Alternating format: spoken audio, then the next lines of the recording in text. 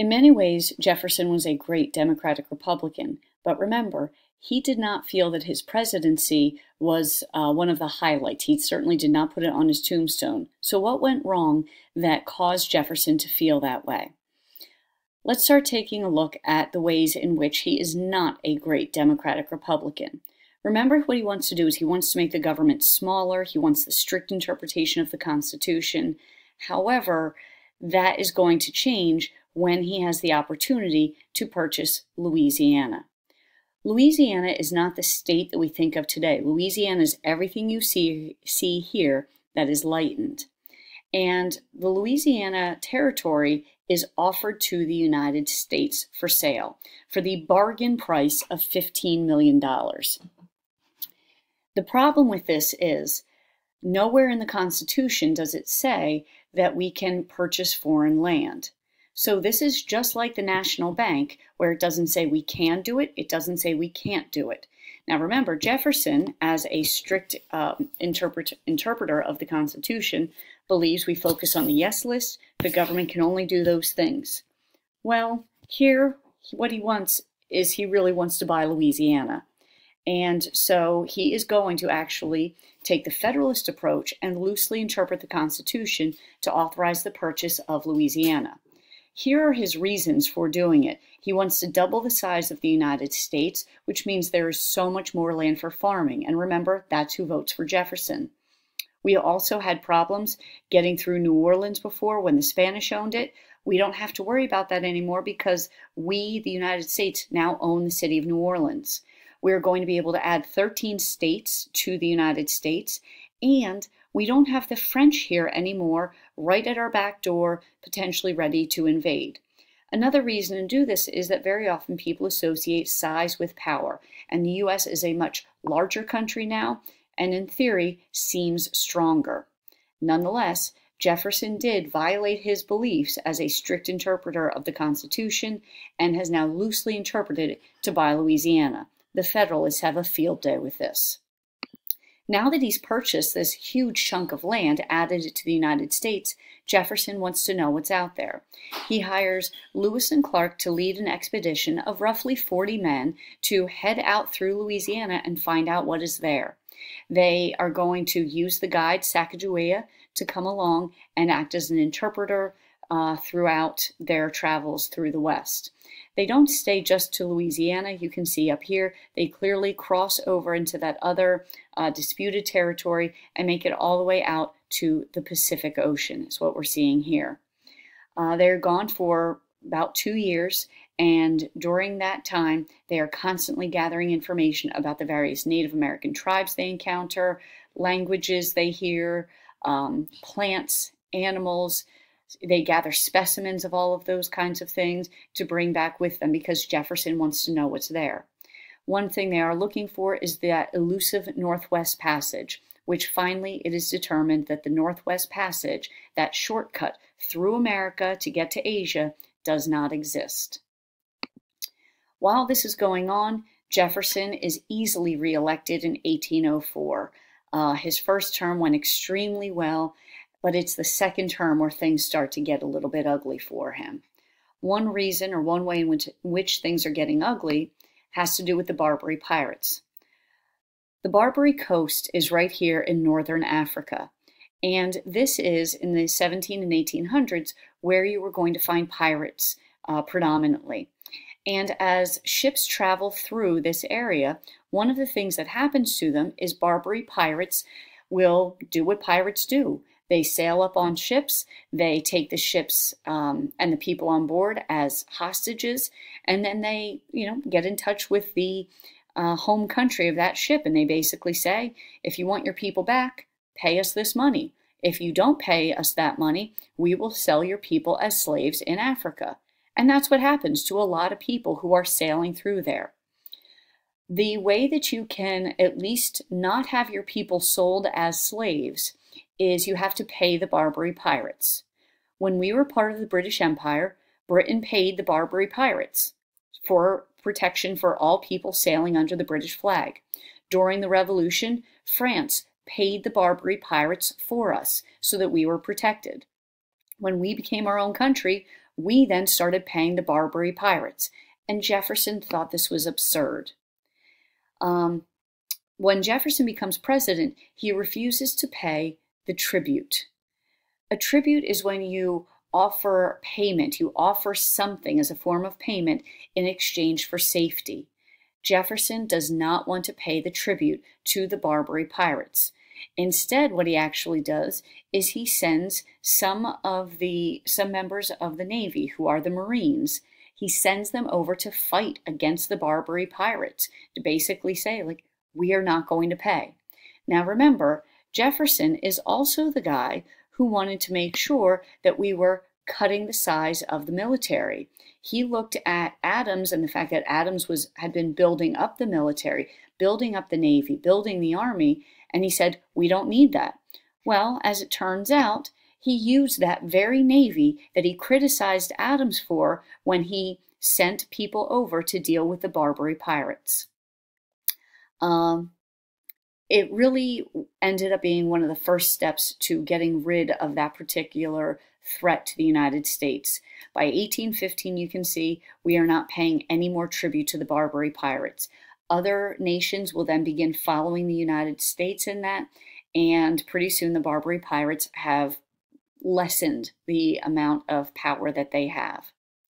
Another area where Jefferson is going to get some criticism, like using a navy that he said we didn't need, goes back to that Louisiana Purchase. A lot of people criticized Jefferson because they said, You are loosely interpreting the Constitution. You have also created this country that is so large that it almost seems like you're going to have to have a large government to control all of that land. How can a less powerful government possibly hope to govern the new United States? But the big one, where Jefferson gets the most criticism, has to do with the Embargo Act of 1807. The problem that he, Jefferson sees is that as Britain and France have been going to war with each other, both countries have been attacking American ships that were sailing to the enemy country. And Jefferson is kind of tired of all of these American ships being attacked. So, what he says, how he's going to deal with this, since he does not want to go to war, and remember, he has seriously cut the size of the military. The military might be able to fight some Barbary pirates, it is not going to be able to fight England and France. So, what he does is he instead issues an embargo against not just England and France, but against essentially the world. The embargo means that he is not going to sell any American goods to any foreign country anymore. Now, remember, a lot of Americans, that's how they make their living. You make a product, either a crop in the South or a good in the North, and you sell it around the world. Jefferson has just pressured Congress into passing a law that makes that illegal.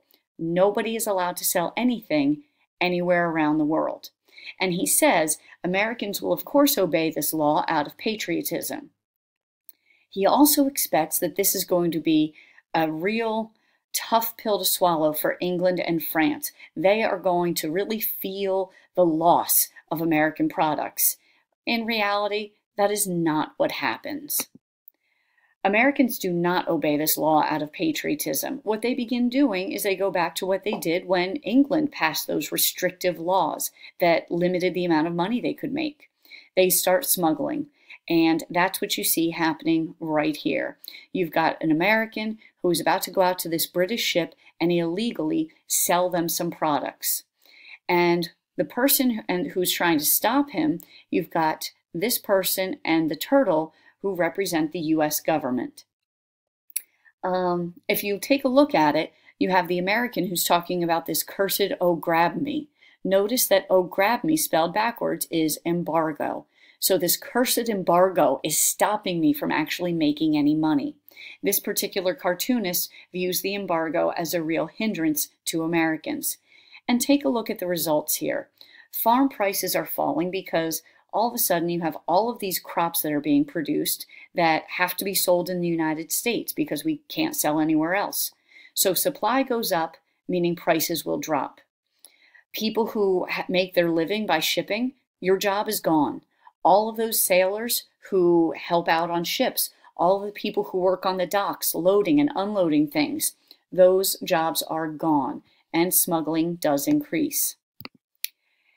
Take a look at what happened to foreign trade. Notice how it drops dramatically once the embargo goes into effect.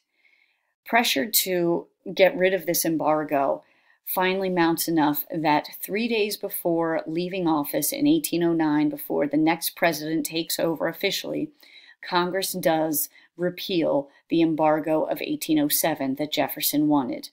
There was absolutely no real effect on England or France. It simply didn't matter. They were too big and too strong to be hurt by the loss of American goods. Jefferson then begins walking out of the presidency and he talks about leaving the presidency as one would leave uh, prison, that you finally get to take off these shackles and you get to breathe freely again. Jefferson hated the criticism that he received from uh, the purchase of Louisiana, from his use of the military uh, against the Barbary pirates when he claimed he didn't need a military, and lastly, the amount of criticism he got for the Embargo Act of 1807. It hurt Americans, and he was stunned that Americans did not obey because they were patriotic. He seemed to really underestimate what people felt that they they needed and they needed to be able to make money and Jefferson did not quite understand that. Jefferson is a complicated person because he seems to on one hand say something but then he does or says something that belies that. He doesn't seem to be very honest with his beliefs all of the time. For example, he talks about the state government is the one that owns the people. However, his own state of Virginia the people who ran that state were the very wealthy, slave owning elite. They were not the regular, common people that he claimed to represent. He talks about the future of America that is farming and everyone should have a farm. But already the industrial age has begun. England is starting to use machines to make things faster and better, and Jefferson seems to turn his back to that. He says he is against slavery, but he's one of the largest slave owners in America with over 400 slaves. He says that urban workers are irresponsible citizens and you should be a farmer. Don't live in a city and work in a city. However, if you're willing to vote for his party because you're a poor city liver, uh, poor city dweller, by all means, go ahead. He talks about the simple life and how that's what people should live. But he himself led an incredibly luxurious lifestyle. He lived well beyond his means. He could not afford the things that he bought. He bought many things on credit, and he was able to do that because he was Thomas Jefferson, and when he died, people saw how in debt he was. He talks about having sympathy for the natives, yet he's going to create a, um, a federal agency, the Indian Bureau, that is simply going to further destroy the lifestyle for natives. He talks about being a strict constructionist of the Constitution, but he will use it loosely to buy Louisiana. He also talks about the importance of a free press that doesn't operate with government interference. However, he is also known to pressure or to push certain journalists into writing things that are negative about his enemies. So is it really free when you have someone from the government who is, you know, encouraging or pushing people to write negative things? Jefferson is an incredibly complex president. However, these three men are responsible for getting us our start under this new Constitution and keeping us secure as a nation.